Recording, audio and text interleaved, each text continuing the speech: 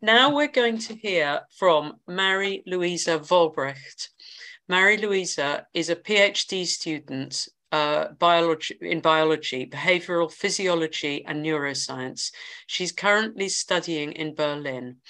Um, Marie Luise is a member of a feminist group called Sisters EV, which helps women exit prostitution and educates people about prostitution and the Nordic model. She's a feminist Twitter activist at Fraulein underscore Vogel IV or Fräulein.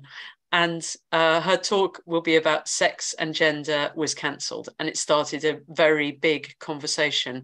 So it's a great pleasure to have you here talking with us, and we're so sorry that of what has happened in the last few months to you. But thank you for coming so I, I want to take the chance and tell you uh, the short story, what happened, and then maybe give you a little bit more insight why it escalated the way it did, and it's still escalating in Germany. So the short version is that, um, as you heard, I'm a PhD student in uh, in biology. Um, I teach students, and in Berlin, we have this uh, an, a public science event. It's called the Long Night of the Sign of Science, uh, and everyone that is in a university can contribute to it. Um, this year, it was about um, yeah misconceptions in science, fake news in science, and what we can do as scientists um, to to help, or what is our role in society. Um, so in um, uh, the beginning of the year, I said, oh yeah, I want to contribute to that. I feel that uh, many people don't understand the difference between sex and gender because they think that sex is somehow a spectrum and they always mix up the two the two things which is because in germany we don't have these two words for it we use actually the same word geschlecht for um like the biological thing and also the the the other thing that used for gender. Um, and this was approved, and uh, it was it found its, the, its way in the in the program. Um, but in the beginning of uh, July, when I was scheduled to have this uh, presentation, 30 minutes uh, on a Saturday evening, then um, it was first it was cancelled and then rescheduled to um, to another date because uh, activists from my university uh, planned a big protest. Um, they used the student mailing service to uh, inform every student, um, as far as I can tell, of my university to say, um, I will teach some outdated biology. Um, it's hostile against trans people, it's hostile against queer people, and um, and also I, I am a really problematic person. Um, I then had the talk on the same day on a YouTube channel of one of my friends. She's a radical feminist from Austria.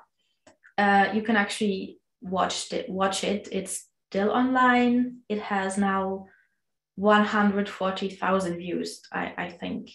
Uh, it also has English subtitles. So everyone could see what I plan to talk about. And it was just a biology lesson. It had nothing to do with trans people whatsoever. It was just why are there only two sex? Why sex and gender are different things? Why is it important for biology and research in general especially when it comes to medical science, to distinguish between the two of them. And that I even said that each of this has uh, a place in, in, in academia, but you need to, um, to separate them and be really, really clear. Uh, yes, then I gave this, um, I gave my presentation under uh, police protection two weeks uh, later and somehow it escalated it, it didn't stop then it escalated even more So um, now I'm the most uh, hated woman on German Twitter. Um, I am involved in uh, four to five legal proceedings um, against yeah trans organizations against my university um, and yeah it doesn't it doesn't seem to to stop. Like this is the longest shitstorm. Um, people who notice things uh, told me that that's the longest shitstorm uh, ever recorded in german twitter. It's it's going on since july. And there's always a new wave and a new wave and a new wave. Um, yeah. So to understand how it got so far, maybe you need to know, know three things that happened before my talk and three things that happened after my talk um, to give you some perspective why um, why I am now this this person or personification of this conflict between trans activists um, and feminists or general people who are um, pro um, free speech. Um, so the first first thing that happened um, before my talk, there is an ongoing debate about a self ID law in Germany.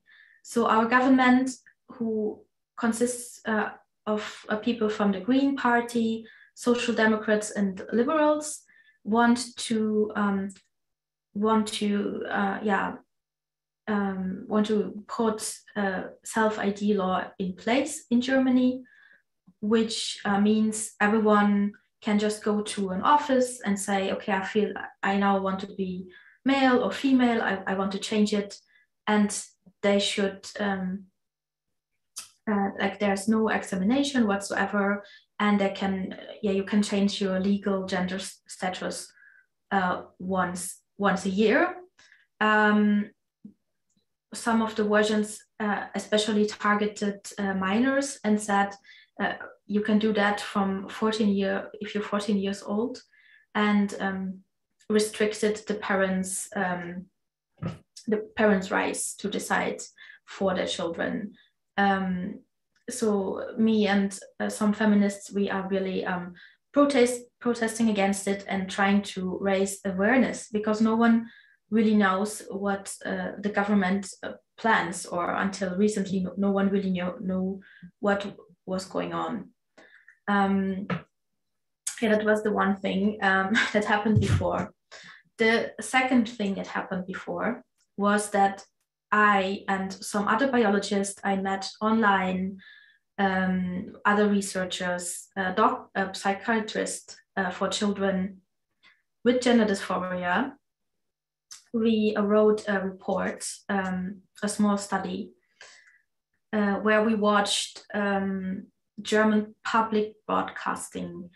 Uh, so this is um, this is state funded. It's pay, it's it's paid from our taxes. Um, and uh, we we wrote this report and because there were there were a lot of misinformation spreading uh, to the public through this these channels and one was also about the reality of sex what is sex what is gender how many sexes are there then it was actually advertising self id law in children's program. Um, it was a lot of uh, yeah it had a lot of uh, report about trends um, and uh, and uh, yeah. Uh, but it also had like implicit sexual um, yeah sex, sexual things that were brought to um, to children or young adults on the channels uh, for instance they would put an image of a penis um, and would call it a vulva so they would put different vulvas uh, next to each other in one of their Instagram's channels, and then I just put a dick inside, like things like that. We all, we all criticized it. We wrote this really really long report, um, and uh, then we circulated it uh, amongst other academics. So at the end, we had an open letter. We had this report. We had uh, 120 uh, scientists, uh, researchers, doctors, um, psychologists who signed our open letter that we said, please, the program has to, um, yeah, has to be truthful to these um, to these subjects and don't report one-sided on it. Um, we also wrote, I co-wrote um, newspaper article to to yeah, we wrote it in a in a German newspaper to um, advertise this open letter and this report. Um, and this, yeah, this uh, this um, piece was behind a paywall, so not many people read it. But there was a was a, this was the first shitstorm because everyone was like, "This is hostile against trans people, and you're um, I don't know, you're right, you're right-winged uh, American Christians who wants to want to forbid uh, I don't know, sexual informations uh, towards children, uh, many things that that that, is, that, that are not in this um, in this newspaper article. And this article came out in June, so that was the second thing that happened. And then I was uh, in the in the spotlight because my my name was on this article and on this re- report. So before, no no one really cared about me. Um, the third thing that happened before is that I have a Twitter account, which I I would not have called an activist account. It was just an anonymous Twitter account. Um, yeah, not affiliated with my name, not affili- affili- affiliated with the university. Um, I would just use it in the beginning to promote some information about prostitution, um, have some fun. uh, and then I switched and I, I, tried to also educate some people about uh, biology. Um, but it was a, it was most of the time a really small account I have, I have for five, five years now.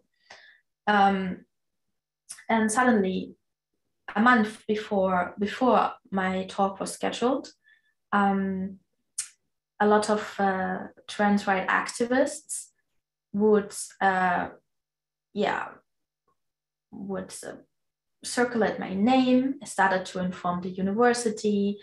Um, I mean, I was always harassed by these trans activists online, but it was it would just completely yeah escalate. Um, I mean, there are some queer activists and trans activists. They were obsessed with me. They would tweet like five, six times a day about me. They would openly th- threaten me um, even before um, my, my talk was cancelled. Um, so these are the three things that, uh, yeah, that happened before I was supposed to give my talk, and that all contributed to this um, really hostile environment. Um,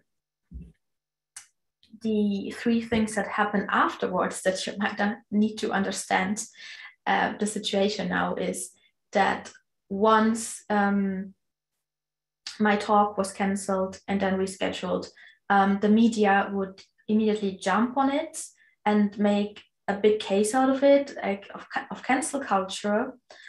But almost immediately, um, a lot of media were reporting, um, were like targeting me and tr- tried to dig up some some some dirt about me uh, because they really really hated the subject of my talk um, because they used this confusion about sex and gender to to promote their, their own agenda so for a week or so um, many media try to, to find a biologist who says that what i explained is wrong but they couldn't find anyone because what i said was basic biology.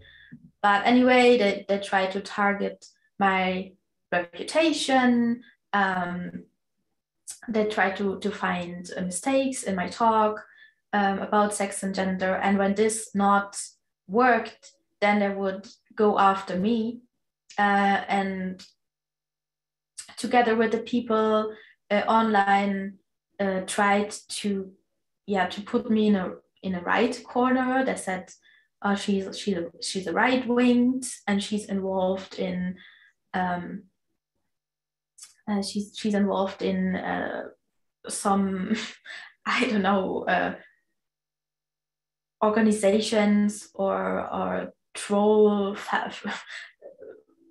things that that uh, threaten trans people or want to try to uh, to to harass trans people to take their own life. Um, so that there was not only activists who spread all these rumors about me, also this bigger media would jump on it, and one media um, uh, one one uh, news newspaper actually wrote that I am close to the NPD, which is the, the, the neo-Nazi party in Germany, and they used they they faked some um, conversations online like really badly. They photoshopped my picture in a conversation that a journal, journalist had with the head of the neo-Nazi party. Um, and um, yeah, and to, to claim that I'm right winged. And I am not right winged. I've never even talked with anyone who's right winged. I'm a left wing woman.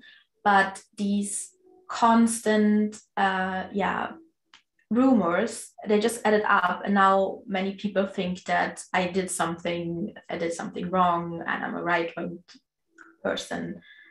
Um, so the second thing that happened then was that they took many of my tweets um, many of my tweets out of out of context to try to twist it to show what uh, what a horrible person I am. Um, uh, and there was one conversation I had. It was about that I said stop sterilizing children um, against against puberty blockers. Um, and I said, oh, this is just like the Nazis sterilized trans woman." And I said, oh, I never heard about it. Can can you give me a link to that? Um, and in this conversation, they just they just took some of my tweets and said this is like basically Holocaust denial. So um, then uh, a site that is called Transmedia Watch um, for many queer organizations who um, is this, this is an initiative who watches other medias how they uh, report about trans issues um, sp- started spreading a hashtag that uh, trans activists uh, suggested which was marie is denying nazi crimes. And then again the the media picked up on it and said oh yeah she's she's denying nazi crimes. Some media twisted it. It's like yeah she's a holocaust denier. Um, it was it was insane. Um, I had to go to court, and gladly there's a there's a first decision now by the judges that they had to delete this. Um, and I looked at the case, I looked at the things that I said, and, and they were like, yeah, no, this is not, she's not denying Nazi crimes. This is insane, and this is uh, is really hurtful to her personality and her and her rights. So um, gladly, this the first decision of the judges, uh, yeah, confirmed what I said all the time. Um, but still, it's out there. People spreading it. I have a Wikipedia page. People put it up. A trans activist said that uh, he had or she had to flee with her family because my um, my followers would uh, uh, would uh, I don't know come to a place and smash some windows. Like these rumors were spread, um, and it all when when this one thing was resolved, when Marie's denying Nazi crimes, and the next thing happened that uh, last weekend there was a um, a pride a pride event, and said really really sadly um, a trans man was killed um, but the first thing that happened is that people would uh, would say that it's my fault. So they would again uh, use hashtags like Marie murdered too, or it's Marie's fault. Um, so leading feminists, um, it's the fault of leading feminists when I don't know people from Chechnya, Chechnya who who are transphobic or uh, hate gays and lesbian, uh, punch someone and which is insane. And it's not only this anonymous people on Twitter, it's politicians, it's um, journalists, it's it's artists. Um, they're all they're all coming. Uh, yeah, they're all coming for me. They're always putting my name.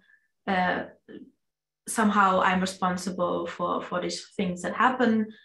Um, in my talk about sex and gender, I said I used the kiwi as a fun example, like the kiwi plant, uh, because the kiwi plant usually is um, has separate sexes on two different um, uh, two different individuals.